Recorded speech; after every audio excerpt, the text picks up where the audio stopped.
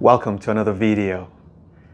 In this video, we're going to be taking the sum of a finite series. It starts from the first one and it ends here. And we're going to go from 3 to 4 to 5. And this is not something you would just look at and compute because we're having titanic numbers in the denominator. As you can see, it ends in 2024 factorial. Okay, so when you get a problem like this, the most important thing is you knowing the formula for the series. So each of the terms can be written in terms of n or k. Now, if you can't figure out what the formula is, there's no way you can get this. And even after figuring out the formula, there's still some algebraic manipulations you'll have to do. It is good for you if you go into mathematics competitions, mathematics competitions, that you know how to deal with things like this, especially how to find the formula. Let's get into the video.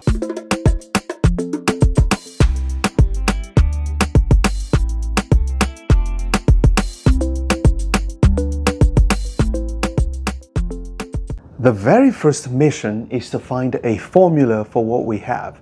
And just by observation, you can figure some things out. Okay? The first thing is look at the top. What's happening? The top is increasing by one every time until you get to 2024.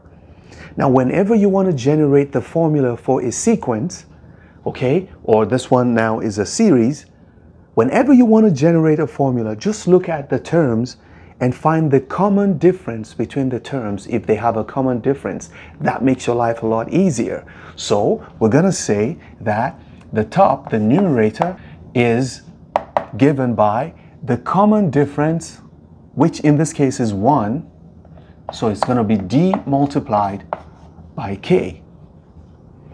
So now k would be k will be equal to 1, 2, 3, just the number of terms that you have there, okay? One, two, three, all natural numbers. That's what it, our k will always be, unless you need to adjust it. Now, what is the common difference in this case? It's 1. 1 times k. This is going to be k. Okay, when k is equal to 1, what is the number we have there? It's 3. As you can see, they don't, they don't match. Okay, it means this formula is not going to work unless you add 2 to your formula. So, in reality, you will always make an adjustment to get the formula depending on what the first term is. Okay, so at this point, it is safe to say that the numerator will be equal to d times k plus 2. Okay, so this is going to be equal to 1 times k plus 2 which is k plus 2. This is how you find every formula that you get when it has a common difference. Let me give you another example. Suppose that the very first term was 4, followed by 7, followed by 10, followed by 13, and you want to find a formula for this. Okay? Your formula is ask what is the common difference? The common difference is 3. That's your D. So formula equals the common difference d multiplied by k. d times k is a permanent formula. The only thing that is left is the adjustment. So look, common difference times k in this case is going to be 3k. So 3k. When k equals 1, 3 times 1 is 3, and that should be our first term. But you look, the first term is not 3. What is it? It is 4. So what do you have to do to 3 to make it 4? You add 1 to it. So this is now your formula. Okay? It's just easy. You can find a permanent formula for this, but this one is very easy to cope with. So basically, we know that the numerator for this problem we have is going to be equal to, so formula for a sub n or a sub k is going to be equal to k plus 2 over something. Now something that's under is very obvious. We don't need to think about it because the first term starts with 1, goes to 2, and goes to 3. So we can say it's going to be k plus k plus 1 factorial plus k plus 2 factorial. So we go, it's going to be k factorial plus factorial. This is the formula for every single term. And with that, we can just do algebra. Everything in this concept is mostly pre-calculus and maybe a tiny bit of calculus too. Before we start adding up all the terms, it is good for us to make this easier for us to deal with, something we can see. And as you can see, there is k plus 2 here, there's k plus 2 factorial in the denominator. It is possible to cancel some things out after we factor. So we're going to try to do some factoring because the good thing is that all of these terms contain k factorial. Everybody has k factorial. a sub k equals k plus 2 divided by, this is going to be k factorial plus, this can be written as k plus 1 times k factorial, right? And then this one can be written as k plus 2, k plus 1 times k factorial. So every term contains k factorial and we can factor that out is equal to the top is going to be k plus 2. The bottom is going to be k factorial. If you factor this out, this is going to have 1 here. So you have 1. What's left here? k plus 1 plus k plus 1 plus. If you factor out k factorial here, you're going to have k plus 2, k plus 1. You're going to have k plus 2 times k plus 1. You see that? Okay. Now, this 1 plus k plus 1 gives us k plus 2. So it looks like it cleans up to become k plus 2 over k. Let's close it. Now, there's k plus 2 here, there's k plus 2 here. We can factor another k plus 2 out.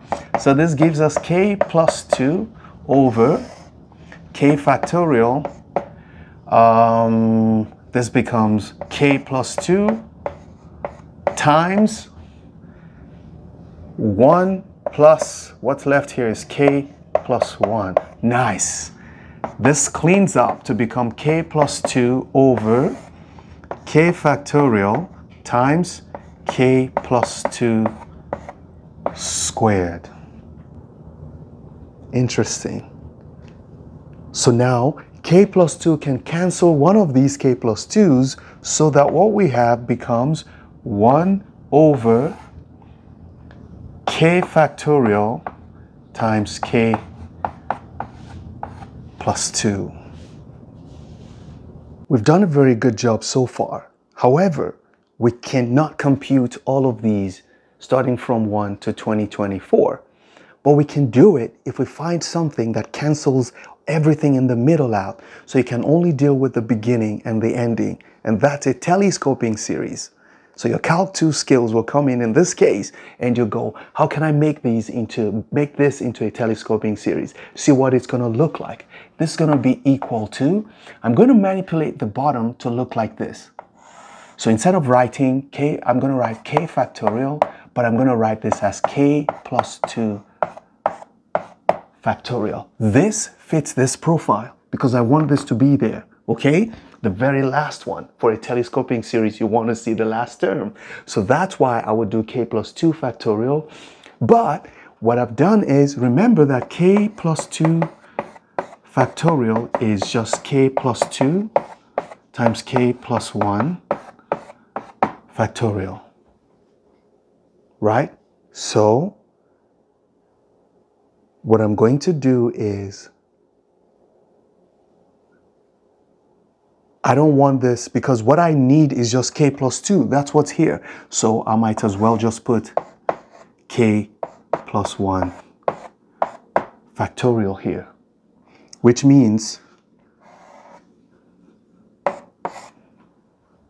this is the same thing as this, right? And if I want to be even nicer to myself, Instead of writing k plus 1 factorial, I'm going to write k plus 1 times k factorial. This, this is still the same thing. You see that? So, because this k factorial, if I go up now, instead of writing k plus 2 factorial, I'm going to write k plus 2 factorial down here.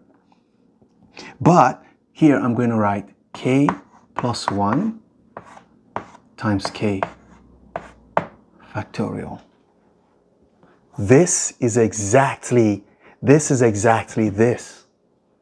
Because by putting factorial symbol here, I have extended this bottom, this k plus 2 by k plus 1 times k factorial. So now we can do some cancellation. This can take this out. All I have is k plus 1 over k plus 2 factorial. But I still need a telescoping series. So what I can do is ta, ta, ta, ta, ta, ta, ta, ta, ta. this is going to be equal to k plus 1 over k plus 2 factorial. However, something I could do. I could rewrite the middle, the top, as k plus 2 minus 1. I found it over k plus 2 factorial. I told you a telescoping series would save the day. Now what happens here? This can be written as k plus 2 over k plus 2 factorial minus 1 over k plus 2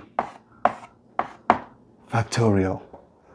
The telescoping series is here. And remember, we can still move this and actually, ta, ta, we can rewrite this easily as k plus 2 over, this is going to be k plus 2 times k plus 1 factorial minus 1 over k plus 2 factorial. This will cancel this so that we have 1 over k plus 1 factorial minus 1 over k plus 2 factorial. This is the telescoping series and we can evaluate this perfectly. okay, now let's get our answer. So we've come to the end of the problem because the sum of all the terms in this series. So each of the terms is represented as a sub k, and we found a formula that, that shows it in telescoping, telescoping series form. Okay. So what do you do? Well, anytime you're dealing with a telescoping series, all you have to do is, remember a telescoping series brings something that is afar off and brings it closer. So what's going to happen is we're going to just put a bunch of terms in it. Let's see. This is going to be when k is equal to 1, your answer is going to be 1 over 2 factorial because it's going to be 1 plus 1. So you have 1 over 2 factorial minus, when k equals 1, 1 plus 2 is going to be 3 factorial minus 1 over 3 factorial. Now you don't need to evaluate because things will cancel out. Now this is the very first one. Plus so we're going to add the next term to it. You see this plus sign, so we're going to do this one. So this is going to be equal to 1, open parenthesis, over, when k is equal to 2, it's going to be 2 plus 1, which is 3 factorial. Okay? Minus, the next one is going to be 1 over 4 factorial. Are you beginning to see what's going to happen? Plus,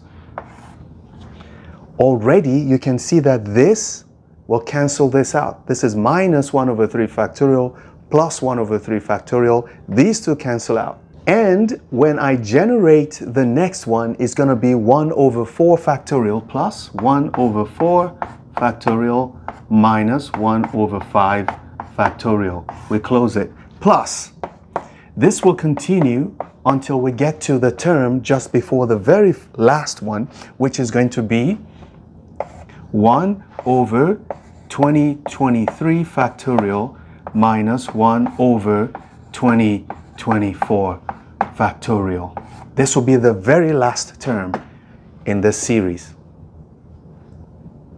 So this cancels this out. This cancels this out. This cancels some guy that's hanging out somewhere out. And some guy here cancels this guy out. So the only two guys that are going to be left at the very end are the very first guy and the last guy. So we know that the sum of the series will be 1 over 2 factorial minus 1 over 20, 24 factorial, which we know how to evaluate this. 2 factorial is just 2, so it's 1 half minus 1 over 2024 factorial. And this is the sum of this series. Now, by the way, this is a super small number, okay? So you can say that 1 half approximately is the sum of what you see. Never stop learning. Those who stop learning, stop living. Bye-bye.